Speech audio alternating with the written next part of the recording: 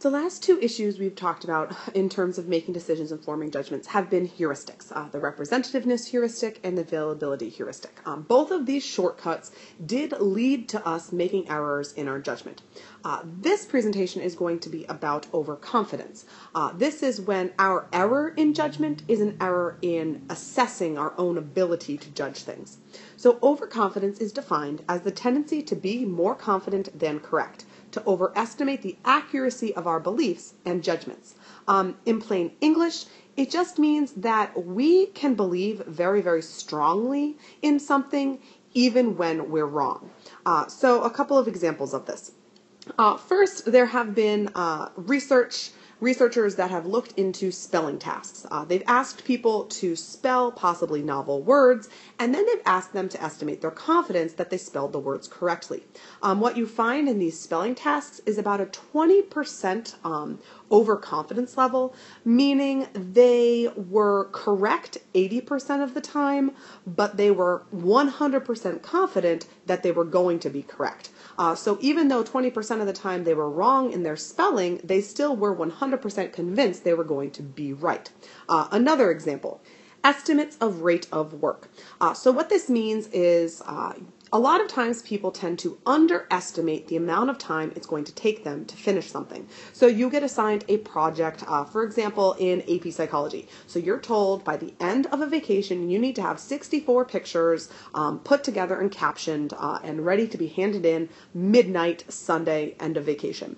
Uh, people tend to be overconfident in their judgments of how long it will take them. So they think, well, I can delay, I can start it at the, you know, maybe Friday evening, I'll be done by Sunday Sunday afternoon, it'll be fine. Uh, what they find time and time and time again is that people are very, very wrong about how long it's going to take them to do something. Continually, it takes them longer than they estimate, um, but still they continue to make the same mistake. Um, other experiments have looked at general knowledge. Uh, people have been asked uh, questions, either true and false questions, or, um, you know, I think your textbook talks about a question like, is absinthe a precious stone or a uh, liquor? And people tend to be overly confident in how correct they are, even though they're only correct maybe 60% of the time, they're 80, 85, 90% certain that their answer is right. Last example I have about overconfidence, uh, and one of my favorite, is the idea of overplacement. Um, people tend to believe that they are better than average, and they're very confident that they're better than average. And I think the best example of this is the statistic that 93% of American drivers think that they are better than the median. Um, so the majority of drivers, uh, way more than the majority of drivers here in the United States, think that they are better than the median driver.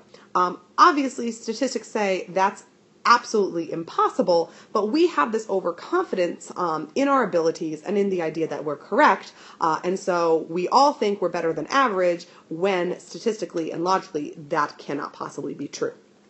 So, recap, definition, you can see it here. Basically, we are more oftentimes uh, going to be really confident that we are right, but unfortunately, a lot of times we are not correct. So even if you feel 100% confident about something, uh, maybe check yourself a little bit and accept the fact that you might actually be wrong in a certain situation because I think that we have seen this can have very real consequences. Uh, when we were in the memory chapter, for example, and we went over eyewitness testimony, um, every single time those eyewitnesses were 100% confident that they were being correct and saying, yes, that's the person who robbed the convenience store. But as we see, um, a lot of times they were wrong. So it's very important for you to recognize the overconfidence effect and then use that when you're making your own decisions and your own judgments.